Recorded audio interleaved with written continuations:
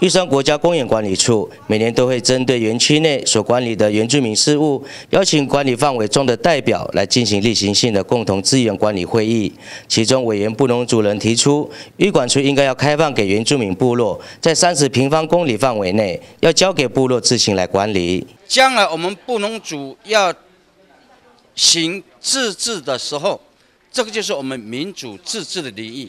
所以，我们从原来的旧部落。方圆三十公里，由我们族人自己去管理。议员石清水表示，参与代表的族人都会表达意见，但预管处都没办法立即做出决策。这会议已成为一种形式，并失去了“共管”两个字的意义。经过我们呃一些布农族以及周族的代表，还有一些啊学者的代表呢，来举行这个会议之一会议之后呢，啊。大家很认真的在讨论，但是呢，啊，一管处的回应呢，只是说来参考参考来办理，像这样的情形呢，有开没有开都一样嘛。今天这个会议叫做资源共同管理委员会，那当然很重要就是共同管理这个精神。呃，可是因为我听了大他们这一年做的事情，我觉得当然做了不少事情，可是大部分都是跟。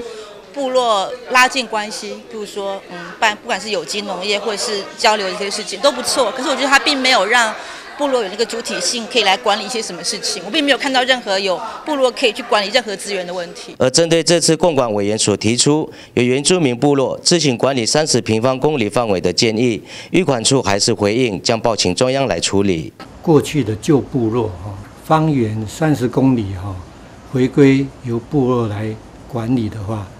那我想，这个可能是整体国家的一个啊层面的这个政策的问题啊，不是呃管理处这个层级能够做决定的。希望一管处呢，能够再重新思考啊，来定定这个办法，怎么做是更好，怎么做才可以双赢啊？啊，这个是一个很好的办法呢啊，希望不要啊。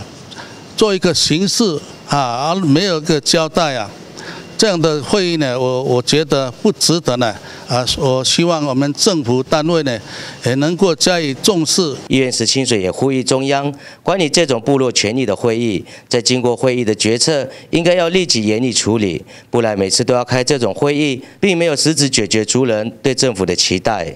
民希望黄一怀水里采访报道。